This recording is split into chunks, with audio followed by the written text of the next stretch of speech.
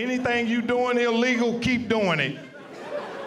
If you're doing anything illegal for money, keep doing it. This country is illegal. You're here over here illegally. They stole you from somewhere and brought you over here. You supposed to be over here. Yeah, that. Get your money, man. This whole country is built, criminals built it. Built off crime.